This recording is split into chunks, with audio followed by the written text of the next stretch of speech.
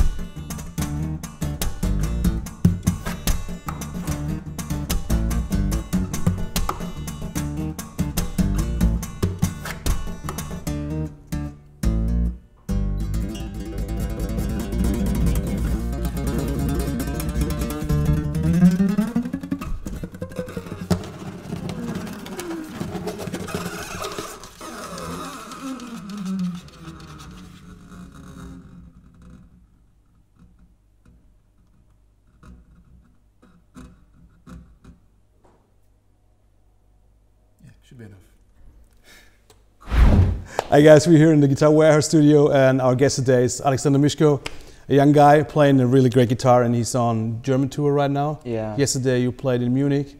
Today you're going to Cologne. Yep. We heard a song from him before. It was called Caravan, Yep. like with the Oriental Yeah, feeling. this one. Um, can you show us a little bit about the about the techniques you used in your songs, like your tapping and Oh, overtone ye- stuff? Just little example. Yeah, sure. I would love to. And uh, thanks for having me here. And uh, my, my actually my surname is Misko.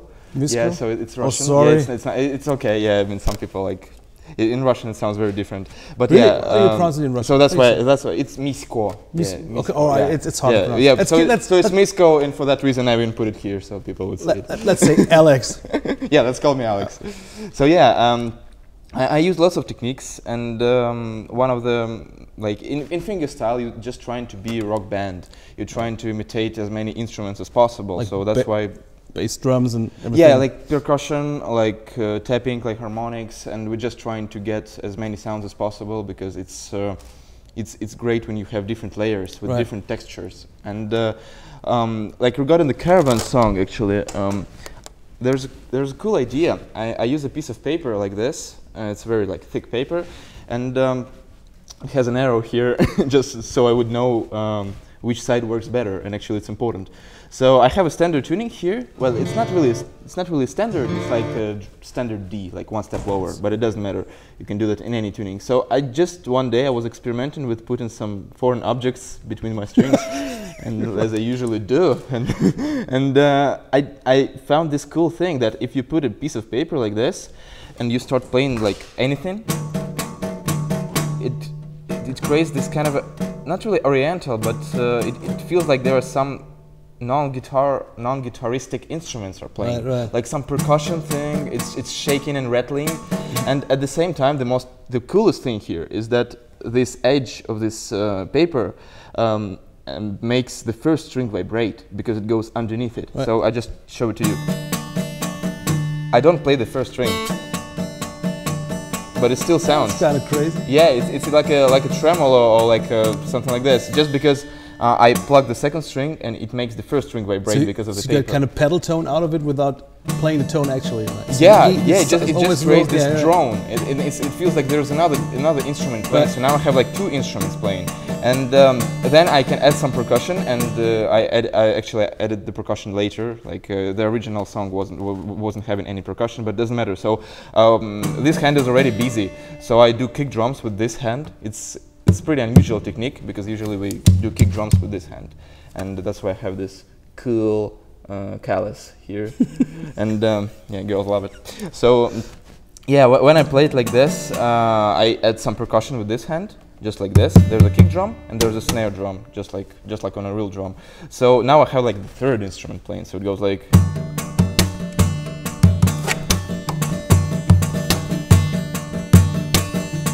I mean, if you put lots of reverb on it, it sounds more like authentic, but doesn't matter. And then I still can play some strings. I still can play some notes, and that's very cool. I can't really play anything on this side, but this side is totally open for me. You can see all the notes. All the notes are working. Yeah, because you fret them and then. Yeah, I can. I it's true. thread them Yeah. just uh, behind the paper. I, I can't do harmonics, unfortunately, but it doesn't matter. And uh, that's why I can add some bass. So now I can like have the fourth instrument playing, like, uh, uh, like. Um,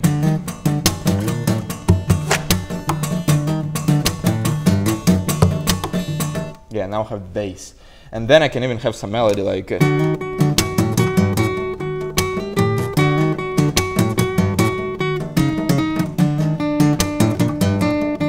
Yeah, and at the same time, I still keep plucking these muted strings, so the feeling of this those Oriental instruments Right, just stays here all, all for the whole time, for the whole The song. ground layer. For Yeah, like like a, yeah, it's like layering. Uh, but this song is not about layering. I wasn't trying to like create as many instruments as possible. I was just trying to uh, get as many um, possibilities uh, as possible from using that paper because like otherwise it's just I, I don't I don't use this paper in any other songs because I, I squeezed all the ideas from it in this song In, in okay. in one song. Yeah, and I think it's it sounds pretty oriental. For me, it's like a, a cheesy song for a Middle Eastern movie from like 80s. So I always describe it as like some caravan with Bedouins and camels Right, right. wandering around the hot desert under the hot baking sun. Oh. And it's like, yeah, it's like, yeah, it's like. Yeah, Right, yeah, right, like okay. to dri- driving the camel like, like it's a car.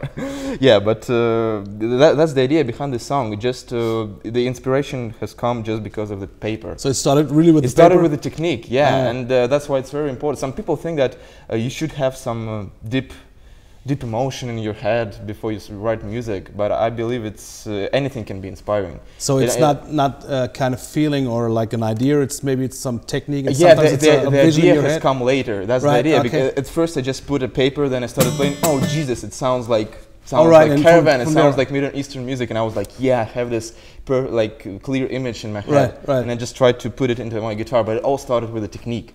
And that's the important point because like uh, anything can be can be a reason to write Right. music as long as it contains your emotion and your like care for that When, music. when you started playing guitar, um, how do you start? Just like play regular chords and do like the basic stuff, like playing songs and learning the chords. Or were you really into that crazy fingerstyle stuff from the beginning? Well, uh, I started as a classical guitarist, so just Right. I wasn't doing anything. Like I was playing video games until I was like 12 or 13, and then my parents just That's what boys do. I love video games. I still play video games. So yeah, and uh, then my parents decided to present me my like first classical guitar uh, on New Year's Eve. I don't know why. Maybe I, I actually shown some interest to music. I was Alright. very into like hip hop and rap. And Ah, it's a perfect- yeah, and maybe they think that guitar, yes, it's perfect for guitar. yeah. yeah, and then I started to attend classical guitar lessons straight away. So I kind of missed uh, this um, this like stage when you play with your friends Oh, okay. uh, in, in the backyard and you learn songs and sing in the in the in the big companies. I Alright. I, I I'd never done this. Like, Alright. uh, and uh, I, I just started to play classical, and I uh, like I just had um, had the privilege to have a great teacher. And I, I have never been a good student, but uh, he still managed to give me the basics, and that was very important. I, I, I was doing classics, uh, classical for three years, and then I just got uh, got to see Don Ross right. playing in the internet. It's like the the greatest Canadian fingerstyle guitarist, Right, one of the fathers of the style, and I was instantly got hooked because like it's just so amazing. Like, and uh, I was so inspired by his music, by original music. Was there a certain technique? Sorry, a reason, no, no, technique you said, okay, no, that's what I want to learn? It's not about techniques at all. It's about the music because No, I mean, when, when you watch Don Ross, oh man, I gotta learn this because of, Oh, I don't oh, know, oh, yeah, there were there were some techniques that like uh, blew me away. For example, like he has a song when he plays some slap harmonics, like. like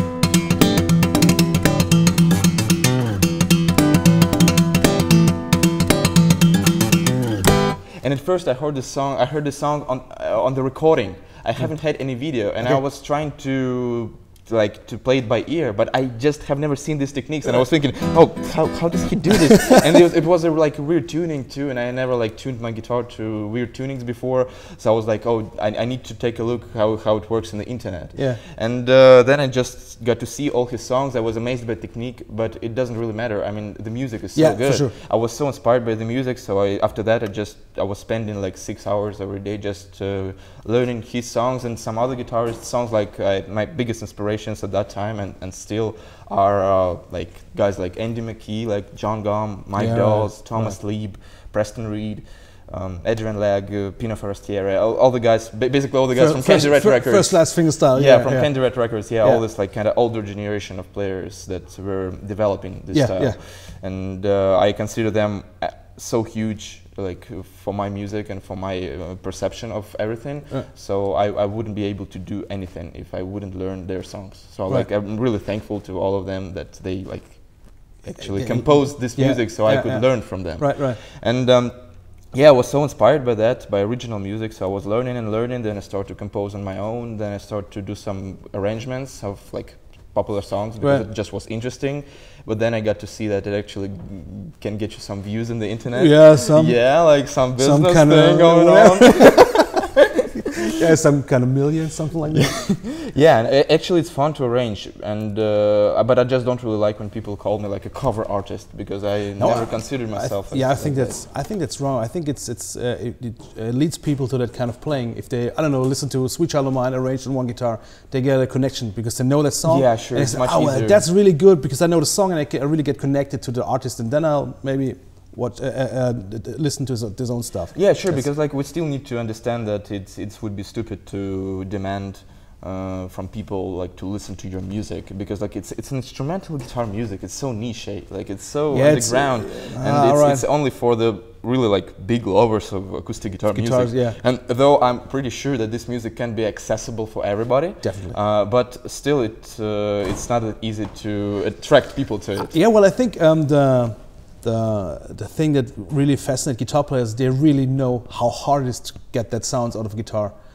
If But you don't play guitar, you're just okay. He's doing some stuff, but he plays guitar. But yeah, but then it, th- there's a very important point because like you can write music for guitarists for all of your life, and Yeah. actually it's it's good because there are some great examples like the band like my one of my favorite progressive bands like Animals as Leaders, and or maybe Dream Those Theater, let's say yeah. more older generation. I mean, these guys clearly write music for musicians. It Right. looks it's so like dance and Yeah, complicated and, and sophisticated with Yeah. all this maths progressive stuff going on, but they managed to uh, like fulfill the stadiums. Put it in songs. That's Yeah, I mean, yeah, they managed to fulfill the stadiums. It's not for some nerds who just listening to time signatures and things. It's for it, People. it, it works for people. Right. Yeah, so that's why I believe that maybe it just would take some time to get this genre going out of this niche thing. Because now we can go, uh, we, we can like uh, show this this thing to people only if we do covers and Right. they accidentally stumble across it on Facebook. Yeah. So that's the only way to get it across the people. But that's okay. But yeah, that's okay. That it, it's still a niche. It's still a very nice community. So everybody knows here and fing- uh, everybody knows each other in fingerstyle, Yeah. and i there is no competition. That's what I really enjoy about. Yeah. it. I mean, You play together. we play together. Yeah. We like communicate. We do tours together. We support each other. So it's very important, Cool. and that's why I'm very happy to be Kind part of of it. It's like a family Yeah, thing. right, it, If, it, if everybody would be like a superstar, it, it would never happen. Yeah. Because like everybody Yeah, would be like, ah, I'm- I'm the you guy, want to take my money? Yeah, something like that. So, um, um, when you say you started with classical lessons, are there anything um, from that first uh, starting of guitar that you really use today? Yeah, and uh, it, it, it, it for me it was very fundamental. It was very important, like uh, starting from even even from the posture that I'm doing now. Yeah. When I practice and when I or when I record stuff in the studio, uh, I always sit in a classical position. Yeah. Not, not really like this because Yeah. now it's kind of. Uh, perverted position. yeah. it's like uh, bec- because I have a strap and I sit not on this uh, like High- high, high chair. high high chair, but in fact uh, the chair should be uh, lower and I use a foot stand For- for, my right yeah, foot. right foot, yeah, yeah. on for left if you if you're right-handed if you're a normal person. uh, yeah, so uh, for for your right foot and. Uh, it, what's uh, what I really like about this posture and why it's for me it's much better than uh, playing the guitar like this, uh, just because you have many points of connection to your body. So it means your guitar is very stable. Uh, for example, yeah, if we imagine if I'm sitting in classical position now, I have a point of connection here, here, on my neck, Right. uh, on my chest actually. This hand, this hand this forearm, Right. and uh, it means that I have like one, two, three, four, like five, uh, five joints, and uh, it means that my guitar is very stable. It would never go out like All right, this. okay. E- even if I play stuff like this, like let's say.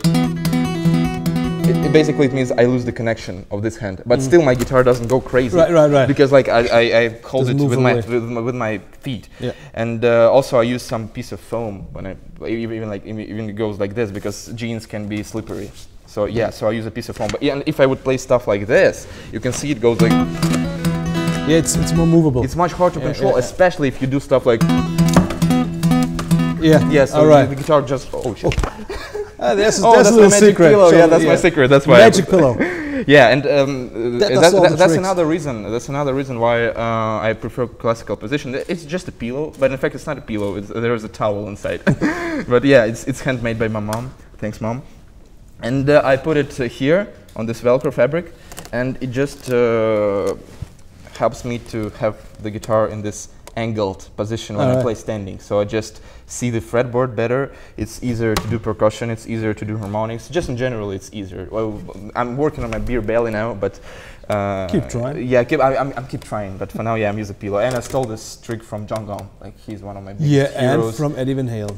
Just Oh, noticed yeah. because he put on some mechanic to put the guitar like Oh, the yeah. sneak and tap like that. Yeah, but I mean, uh, the, the never- first, the first guy, the, first guy who I seen do, do, doing this was John so Right, okay. I kind of consider him as like my biggest inspiration. So yeah, and it's very important to play in this classical position, and also I believe that the classical posture of your hands, like the fundamental thing, uh, is the fundamental thing too, because like some people play guitar like this, some people like play guitar like this, but uh, I think when you start playing, it's it's very important to keep it all classical because Right. that's the basic. If, if you know how to play the basics, then you can uh, change your position as much as you But you can to. always return to that basic yeah, thing. but at first you All need right. to know how it works because like those classical guys, like I don't know, uh, like Tarrega and uh, all these famous Yeah. guys who have been developing this approach, they were right. I mean, it, it was like a hundred hundred years of making. Mm. Oh, yeah, yeah, the- the- it- thought about it- that. It's worth something.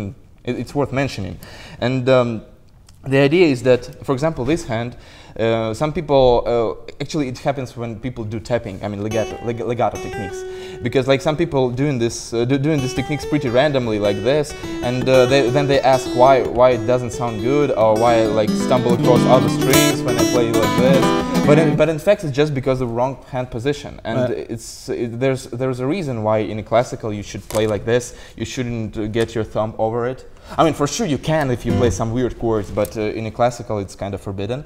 So yeah, if you, if you play tapping like this, if your fingers are perpendicular to frets, then you instantly have.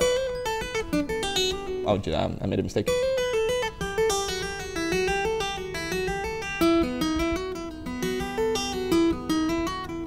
I never touch any unnecessary strings just because my hand is in the right position. But if I put it like this, Still sounds good. it's not comfortable but and also i i just miss the notes and doing these thing, things and it's very important just to understand. Also like uh, regarding this hand i think believe in uh, i believe that starting as a classical like this. It's it's very important too because you know how all the fingers work. You know how to do this uh, tricky arpeggios and things. And then if you don't feel comfortable with it but if you can play stuff like this you can change it like as you want to. Like some guys with a thumb they use a thumb pick and they prob- they basically uh, like put their hand like this. Right. but still you can play it. Like i just don't prefer to play like this. I play like this only if i do percussion. Like but if i don't percussion i don't do percussion usually i still hold my hand in a classical form so yeah and it, uh, it all goes from classical and it's very important for me to keep keep this stuff because like I, I have been playing like this for my whole life Alexander, you got some your Baton Rouge guitar with you, and there's some kind of weird mechanics. oh yeah Yeah, can you show them? to yeah people? sure You uh, just turn around. yeah. Got that on the cam? Oh, I'm not sure if it's visible, but yeah, you can see these huge metal things here. But they are hidden behind the headstock. So Yeah. Tell if us I sit why. like this, there's nothing special going on. Yeah, no. And no, uh, yeah, and uh, that's that's the secret. And uh, it's not my invention. It's the, these things are banjo pegs, banjo Yeah. like uh, Banjo- yeah, tuning pegs. yeah. Yeah, and actually they're called banjo detuners, and it means that uh, they were invented like in 60s, and but still like it's it can be impressive for people because like not not so many people have been using this for for Yeah. guitar. And the first one was I believe was Adrian Legg. Yeah. From the UK, he's one, like one of my biggest inspirations. He put them like in 70s, and then it was John Gomm and uh, Nick Harper and some other guys. But Yeah, yeah. the the idea is that um, you can choose the the interval between any two notes and you can set the special stops you can see i have uh, i have screws here the black one and the silver one so uh, it means that i choose the higher note let's say this one i fix it with a black screw then i go to a lower note let's say this one is like semitone here but you can choose any any interval until you break the string and uh, you you you screw you you screw up the um, not screw up it means different Ti- thing it means different thing in english tighten the. yeah, tighten up the, the silver screw, and uh, now, voila, there's a magic. I never miss a note. And uh, you can do some it's funny, some funny stuff like. Um,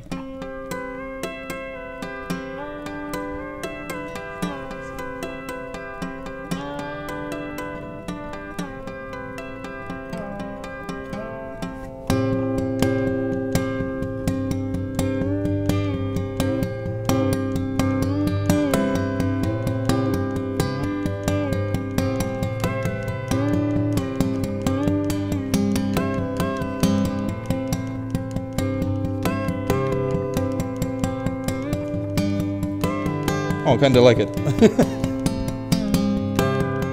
yeah, it's like a random song, but I mean, you can see it sounds uh, sounds cool. Probably I composed a song out of it. Yeah. So, so yeah, and the, the idea is that I never miss a note, and it's, it's such a cool trick because um, it's it's not only impressive, like so people will think I'm doing this by ear, uh, because like it's uh, it, it's it's a good technical thing to imitate some uh, slide guitar playing, like yeah, some cool bands. a B bender. yeah, like B bender thing, and also what I really enjoy about this is that you can change the tuning silently without Mhm. plucking. So it means that if like you play a song and then suddenly you need you need to go to this kind of a tuning, maybe you have a um, key change or something, and uh, you know that uh, if you would have a regular pegs, you would have to do like or maybe you need to Mhm. remember the position of the peg and do it like uh, physically, like just remember yeah, the yeah, just like how, how far you should Yeah. turn. But it's crazy. It's very unreliable because then you change the string, And then change the strings, and all gone. the pegs go in different direction again, Yeah. and it just gets crazy. So that's why I. But with these pegs, I can do this magic trick. Like for example, I'm playing some stuff, then I.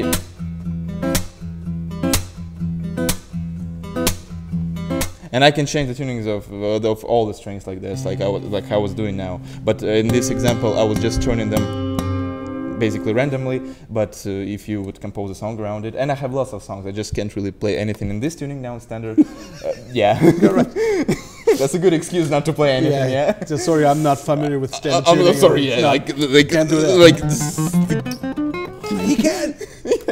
So yeah and uh, but i have a song i have lots of songs when i use them like uh, probably if you guys familiar with my creations you have seen my careless whisper arrangement and that's one of the biggest ones. And uh, i'm using the banjo pegs a lot there. And also you can check out john gomm's song called passion flower and he uses them beautifully there. So uh, yeah it, it opens up many many possibilities. And uh, what's what's a, another cool nerdy trick about them that uh, you can uh, if, if for example um, this peg now in a good position you can see it's comfortable to turn. But if I would have to do the same with this one it would be like I would break my hand. So these pegs have have this cool feature that I can just tighten up here and I can do this funny magic trick. Yay! Anybody needs a peg? And I can just put it in different position, in in a, in a position which would be convenient for me, like this one. There are six That's different nice. sh- positions in the shaft, and yeah, I just put it like this, and I can play. Right. So this is a Keith Banjo Tuners. They produced by Beacon Banjo Company, American company uh, that I proudly endorse. So will they be on your signature guitar? Excuse me. Is you uh, going to get a signature guitar? I heard. Yeah. Uh, Will they be part of it? Yeah, Baton Rouge are uh, is a great company. They have been supporting me for a couple of years now. I'm happy to endorse their instruments. And yeah, now we're now we're building the signature guitar. It will be very special. And banjo pegs are just the smallest part of it because there Okay. are gonna be lots of. Can you uh, say something about? yeah, uh, I'm, I, I just hope it's, it's gonna work out because there are some crazy Okay. ideas. But the main idea is to it, it look completely different. Okay. And just uh, because I'm more into jumbo size now because it's just better for percussion in general. It's gonna be fan fretted as hell, uh, and uh, lots of pickups inside. Like on, on this guitar, but it's a little bit different. But the main idea that I have in my mind is to have a detunable bridge. It's like something like my, Michael Manring uses on his well, bass. we'll see. Yeah, so it means that uh, you can detune the strings from both sides. For example, you can like have D note here, then you go to C here, and then you go to A sharp on this side, and then you go to C on this side, and then you go to D on this side. So, so yeah. Poor guitar builders. Poor guitar yeah, builders, Oh yeah. my god. Uh, hopefully, hopefully it would work. I just, I just hope because it would open so many things. I just can't imagine. So I'm really looking forward to this guitar, and uh, yeah, I just don't want to have my uh, my surname here anymore because some people think I'm so egotistical. But in fact, I, but in fact, I think it's just fun. like this guitar. I mean, the, the, the name of this guitar is Misko because like it has my name on it. Sounds it's just so fun. Alex, it was really cool to have you here. And thanks for showing all your playing. And yeah, we're going to listen to another song. Uh, yeah, th- And thank you very much, guys. It was a great pleasure. Hope to see Thanks. you in Germany. I'm Thank really, you. really. Thank you. Thank you.